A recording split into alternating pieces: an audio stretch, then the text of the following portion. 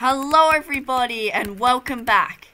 In this video, we try and play Bed Wars, and I make a huge bed defense to try to get people to think I have an amazing defense, but really it's just wool.